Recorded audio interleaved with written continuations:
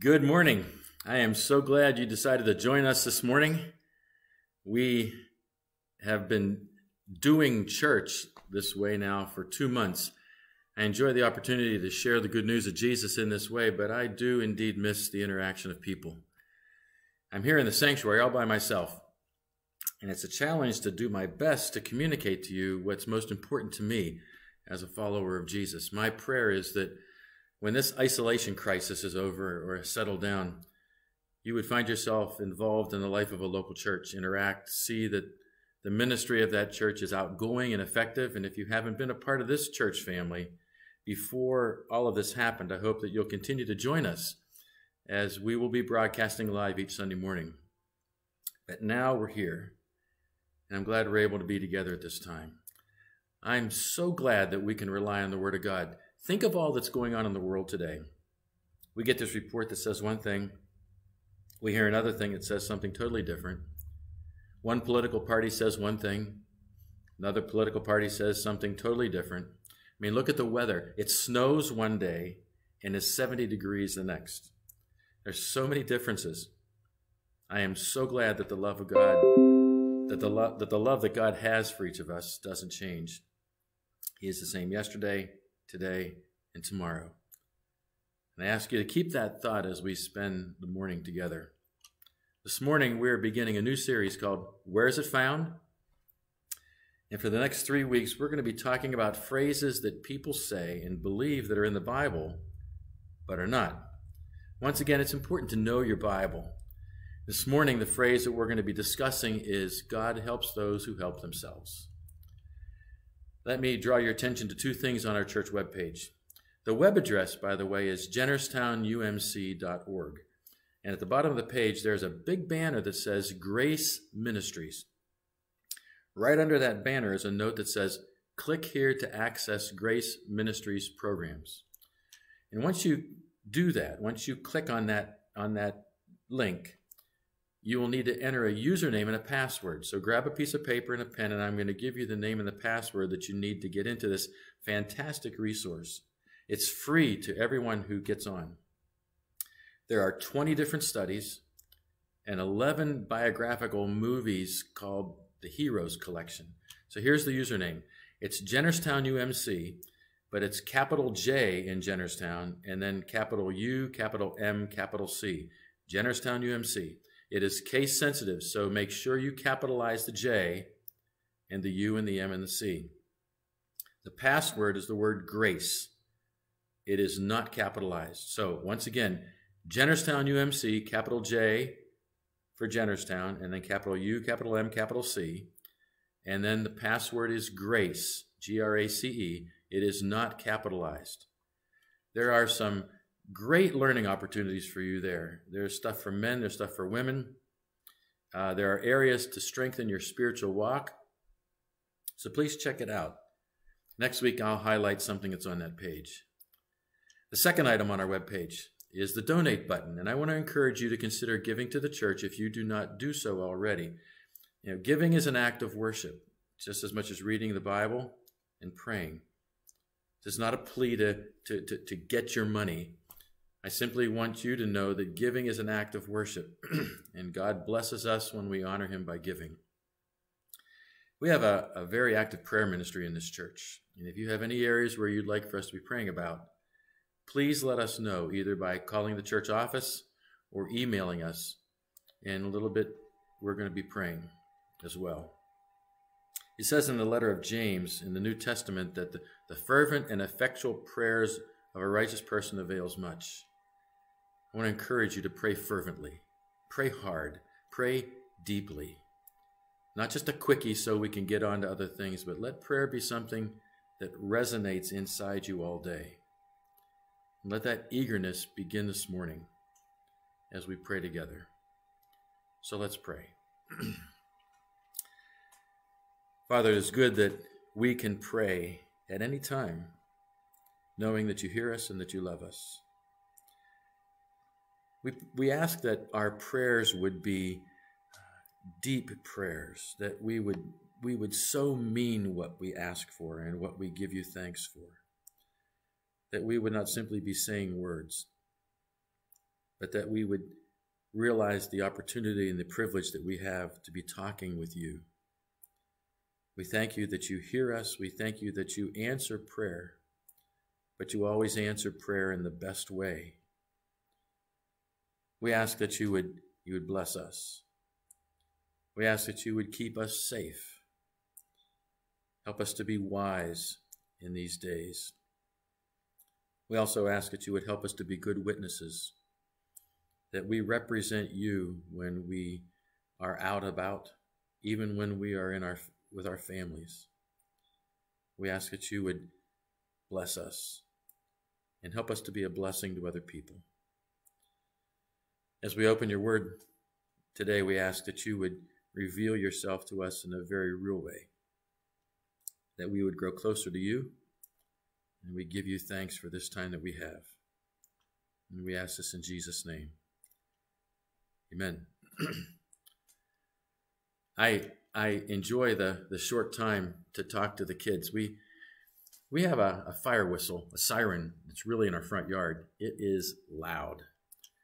Uh, it's not the first time we've ever had a siren close by. If we're outside and the, and the whistle goes off, we need to go inside because it hurts our ears. I remember when I was growing up, I was part of an ambulance corps that my dad started. And I wasn't old enough to drive the ambulance, so I would sit in the back while the siren blew and we could get to where we needed to go fast. And we had stretchers for people to be on when we went to go help them. And, and, uh, and that's what we did as an ambulance corps. But the fire trucks were different. Now, we both had sirens, but they had ladders. They had hoses. You know, the ladders, they, they cranked up to rescue people in burning buildings. I was able to help them once they got on the ground, but never had the ladders. Now, I want you to think about that ladder with me. Think about lifting up. The ladder with the fire truck rescued people. As followers of Jesus, we're called to lift people up in prayer. That's another way of saying that we are praying for a person. How can we lift someone up in prayer? Maybe we know somebody's having surgery. Maybe somebody's sad. Maybe someone lost their job. Maybe somebody doesn't have enough to eat. And so we lift them up to God in prayer. Now, it doesn't have to be a sad thing that we pray about. We can pray prayers of what's called thanksgiving. We are thankful for the new baby that was born, or we're thankful, we're thankful that we have things to eat. We're thankful that someone could graduate. We're thankful for the place where we live, or the clothes that we have. We can always be thankful that we know that Jesus loves us. So, lifting up people in prayer is a really great thing. And I want to encourage you to lift people up this week. Pray for them because that's what God wants us to do. Now, those of you who are older, if you were to ask people what might be in the Bible, you'll get all kinds of answers. If you ask the average person, what was the forbidden fruit in the Garden of Eden that Adam and Eve ate? What do you think the most common answer would be? Most people would say apple. But actually, the Bible doesn't say that. It just says fruit. Ask people how many wise men there were. Top answer three. Again, the Bible doesn't say. It does talk about the three gifts gold, frankincense, and myrrh. We don't know how many wise men there were. What book of the Bible is that found in? It's not. Here's another one Cleanliness is next to godliness. Not in the Bible. Gallup had a poll where a whole bunch of people thought that the epistles were the wives of the apostles. Some people thought that Jesus' most famous talk was called the Sermon on the Mount because it was delivered on horseback. Some people thought Noah was married to Joan of Arc. Once again, not in the Bible. So we're doing a series called Where is it Found? And it's about sayings or thoughts that get attributed to God but are not actually in the Bible, and God did not actually say. The reason for the series is that often it's our wrong ideas about God and His will and character and the way that He works that creates stumbling blocks for our ability to trust Him and to love Him. A lot of people think the Bible says that God will never give you more than you can handle. So they think being a Christian means your life will always be manageable. But the Bible never says that. And life will often give people things they can't handle at all. A lot of people think the Bible says that money is the root of all evil. So they think that the Bible is anti money, or, or they think if you have financial gifts or the ability to generate wealth, you're not really a deeply spiritual person. But that's not what the Bible says about money. So in this series, we're going to get to know God better so that our faith in Him can get stronger and our love for Him can grow deeper and we'll begin to obey Him more naturally and more joyfully. The statement we're looking at this morning is maybe the erroneous quote most often attributed to God, and it's this God helps those who help themselves. Now, this saying, God helps those who help themselves, actually goes back to one of Aesop's fables. In this fable, a, a man is driving a wagon and it gets stuck in the mud, and he gets out and kneels down and prays to the gods to unstuck it. Hercules appears to him and tells him to get off his knees and put his shoulder to the wheel. And Aesop says that the moral is the gods help those who help themselves. It is not in the Bible. Now, it's certainly true God doesn't call us to be passive. God has given to each of us a mind and a body and a will, and He wants us to take initiative and He wants us to take responsibility. That's a good thing. Faith in God doesn't mean I get a free pass from having to study for tests. Faith in God doesn't mean I don't have to exercise in order to be healthy. Faith in God doesn't mean I don't have to show up for work on time with a good attitude. God will generally not do for you what he enables you to do for yourself. But, but, our biggest problems in life are in precisely those areas where we cannot help ourselves. And then we find we have this strange resistance to asking for help. Asking for help, it, it offends my pride. Asking for help makes me feel small and, and, and incompetent. A great danger, and we've all been there, is if we don't get help, what started out as a problem will turn into a crisis. What started out as going over budget ends up in debt or shame. What, what started out as a pattern of unresolved conflict ends up in divorce. What, what started out as a bad habit becomes an addiction. What started out as a problem with being with flirting turns into an affair. A problem with procrastination turns into unemployment.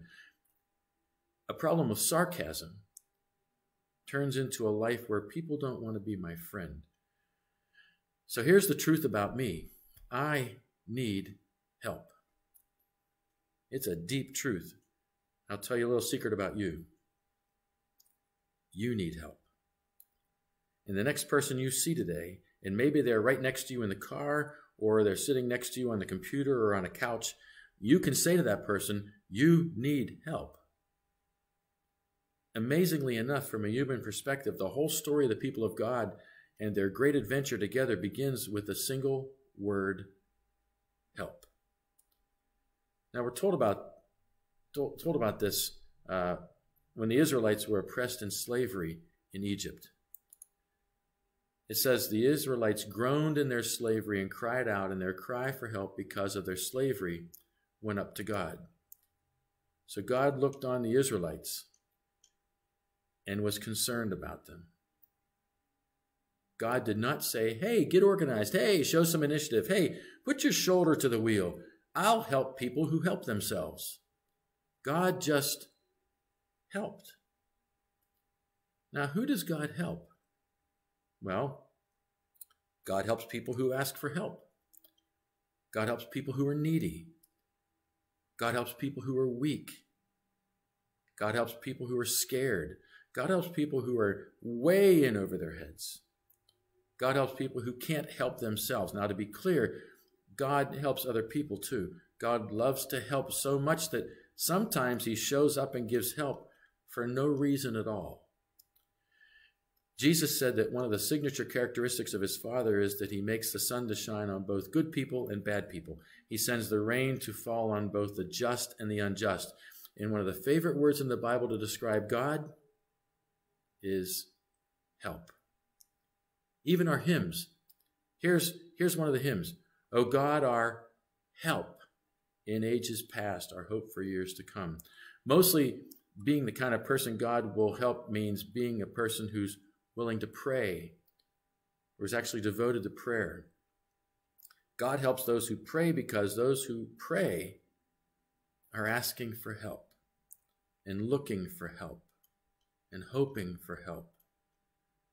And what we're really called to in the Bible on this issue, rather than self help, in other words, God helps those who help themselves, we're called to prayer, a life of prayer, and an attitude of prayer. I don't know where you are on the prayer deal. Maybe you've been disappointed by prayer. You cried out to God for something that really mattered to you and nothing happened.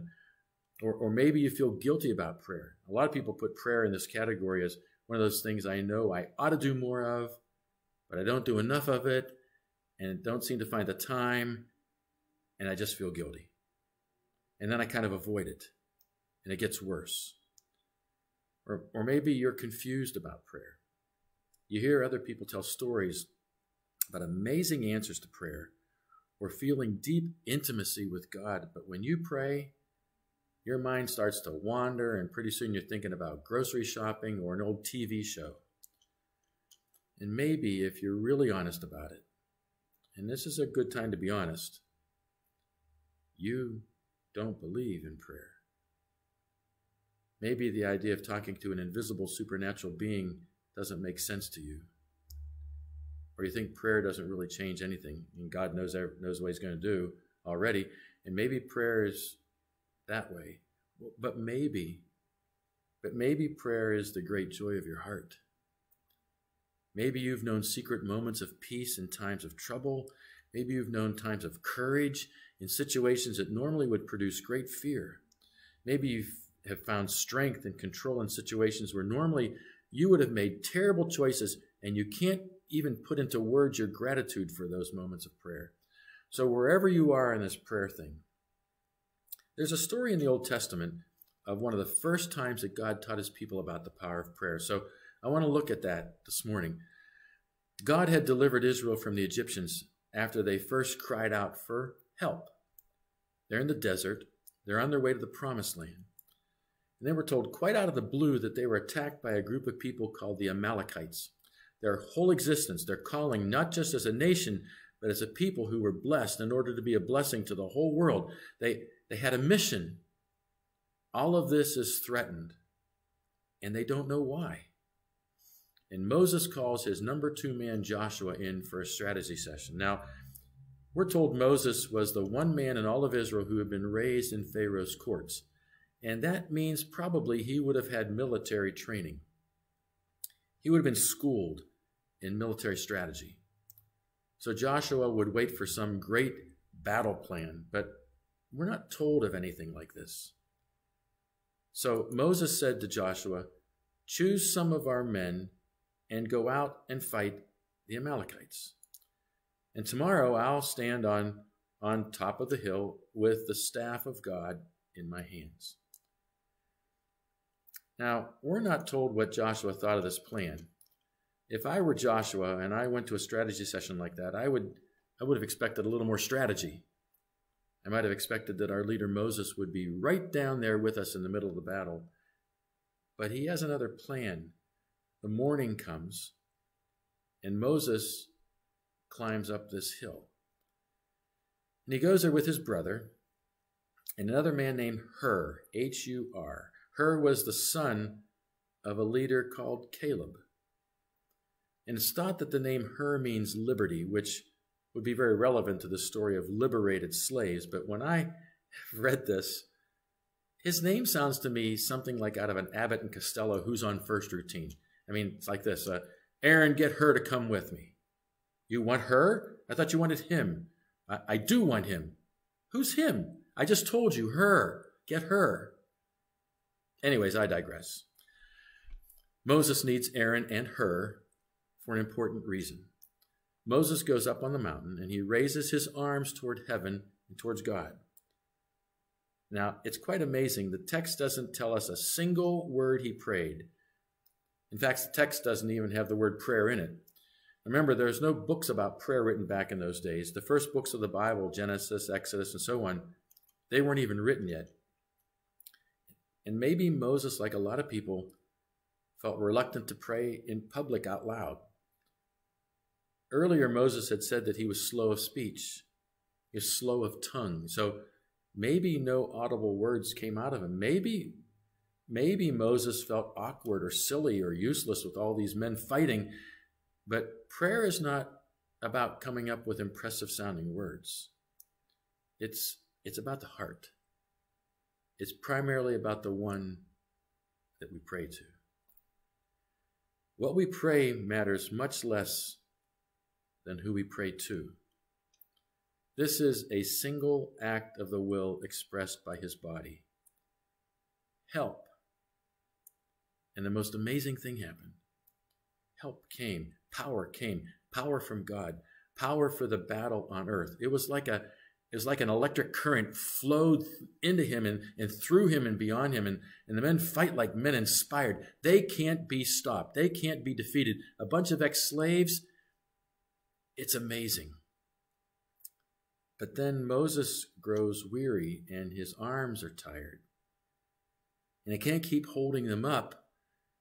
And but when they come down, something happens to the spirit of the soldiers on the field and they begin to lose the battle. And so Moses raises his hands back up and, and the tide turns yet again. Israel begins to prevail. And, and it dawns on Moses and maybe on Aaron and Hur that, that Joshua, when Moses reaches up to the heavens in prayer, power is released. And the battle is no longer merely a matter of flesh and blood. There's another power, there's another force, there, there's another kingdom at work. There's a, an unseen reality in the battle. God is giving his people a physical picture of a much deeper spiritual reality. And that is, we are not made to live on our own power. We're made to live in dependence on God. And over time, this discovery gets deepened and elaborated over and over and over in the Bible, supremely through Jesus. And then it spreads to people, and it still goes on today. For instance, there's an alcoholic named Bill who lives in stubborn pride year after year after year in his battles with the bottle, and the enemy is killing him. And finally, he hits bottom and he realizes he's hopeless and he, he lifts his arms towards heaven and he prays that single word, help. And the battle for sobriety that he could never win begins to turn as long as he lives one day at a time with hands lifted up, saying, God, help me. I, I, I can't do this. God, help me. And through that surrender comes victory. This is the invitation for you today in your work, in your home, in your relationship, or in your confusion, or with your diagnosis, or in your loss, in your fear. There's a battle going on. And everyone that you see is facing a battle. We're, we're not meant to do battle alone. Now, what will keep me from asking for help generally is pride and self sufficiency. By the way, very often God chooses human means to give us divine help. Let me say that again. Very often God chooses human means to give us divine help. And there are, I think, two great truths that if I can get them, if I can get them embedded in my mind, they'll, they'll help me to be more and more able to raise my hands in prayer in a good habit. And I kind of associate them with, with two arms going up. And, and the first great truth is this God is able. God is able. How able is God? Well, according to the Bible, he is exceedingly able. He is able to speak the universe into being, to say, Let there be light. And there's light. He's able to bring the plagues that'll change the heart of a Pharaoh. When the Red Sea needed to be parted for Israel to walk through, God was able to part it. When manna was needed to feed the people, God was able to bring it. When a storm threatened the lives of his disciples, God was able to still it. God was able to rescue Daniel from a lion's den. He's able to deliver three young men from a fiery furnace. He was able to take five loaves and two fish and feed a crowd of thousands of people. He was able to make a donkey talk.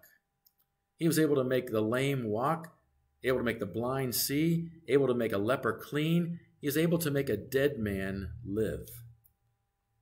Paul said this that God is able to do immeasurably more than all we ask or imagine.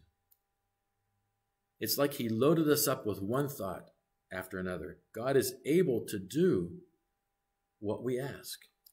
And not just that, but he's able to do all, all that we ask. And not just that, but he's able to do more than all we ask. And, and not just that, but he's able to do more than all we ask or imagine.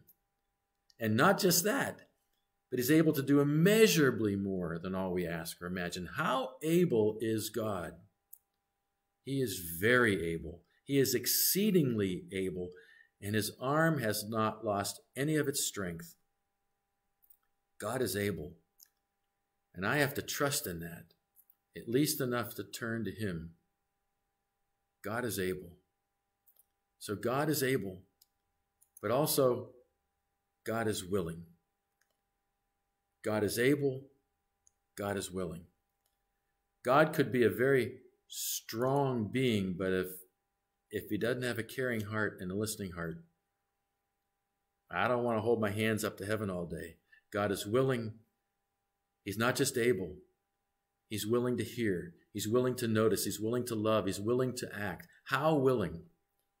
Very willing. The, the writers of Scripture say that He's willing enough to count the hairs on your head and keep every one of your tears in a bottle. He's willing to hear the groans of his people and the blood that cries out from the ground of every single victim. He's willing to suffer like a, a, a lovesick father waiting for his prodigal child to come home. He's willing enough to become like one of us. That's called the doctrine of incarnation. That in Jesus, God became flesh. And part of what it means is God learned firsthand what it's like to need help. Now, think about this. God learned that. When Jesus was a little boy, he would say this word to Mary Help me, mommy. That's one of the first words a child learns. Help me get dressed. Help me eat my food. It's amazing that God humbled himself in Jesus, the maker of the universe, asking for help to tie the laces of his sandals. If a parent lives long enough now, things change end up asking their children for help. Help me get dressed. Help me eat my food. We are born needing help and we die needing help. And in between, we can fool ourselves into thinking we don't need help, but all it takes is a little age or a little health problem or a little blood vessel that doesn't work just right or a little email from work saying that the job is no longer ours. And we remember that word help. In the end, Jesus, that is, God in the flesh, could not even carry his cross by himself. And a man named Simon from Cyrene had to carry it for him. The story of Jesus ends as it begins with a God who, who somehow knows what it is to be weak and small and unable and, and, and needing help. That's our God. He's so willing. He has such a generous heart and he's not frustrated and he's not impatient. And God is waiting right now. So, where do you most need help from God? God, give me strength to face this crisis. God, give me wisdom to know how to parent. God, give me peace in the midst of this storm I'm in. God, give me the ability to overcome my anger and my bitterness. God, take away my fear. It's killing me and I can't make it go away. God, give me your help to be able to cope at work. God, give me your patience to be able to dwell in the midst of this problem. God, I haven't lived in joy for a long, long time. God is able. God is willing. And God helps people who can't help themselves. Now, maybe like Moses, you need help from somebody else. Maybe your arms are getting pretty tired. You know, there have been times when, when I've had to say, I don't even know exactly what to pray about right now. And I feel my heart so downcast. I don't know what to say and I don't know what to do. would you pray for me? Would you stand in that gap for me? And friends have said, Yes, I'll do that. Then they're like Aaron, they're like Hur. And those are sacred moments. And we get to do that for each other. It's an amazing picture this story shows us of, of life in the kingdom of God where God hears and he cares. God is able and he's willing and he sends his power. And there's a battle that looks like it's being carried on in human flesh, but the real battle is not down on the field. The real battle is up on the mountain with a man named Moses. But Moses gets too tired. Moses gets too weary. And so he has a couple of friends who come alongside of him and they hold up the hands that don't have the strength to hold up themselves. And somehow, in the midst of that weakness and brokenness and, and neediness, power of God gets unleashed that never would through human strength and ego alone. That's us. That's the reality in which we live. That's life in the kingdom of God. And maybe you need to ask somebody, would you be my Aaron? Would you be my Hur? Would you hold up my hands because they're kind of tired right now? Would you support me in prayer because my heart is breaking right now? Lift those hands toward heaven because God is able and He's willing. So we're going to close our time this morning. And I'd ask that you would pray a very simple prayer of help to God. So let's pray.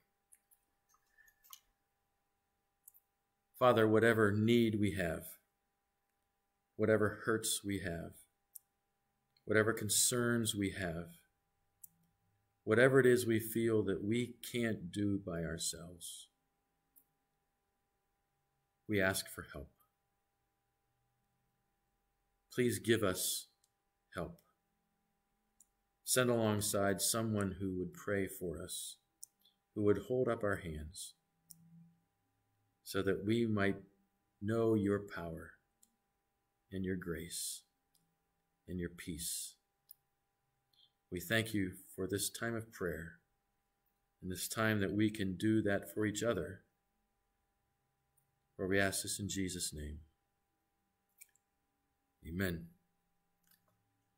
Have yourself a great week and pray for someone this week because God gives to us all the help that we need.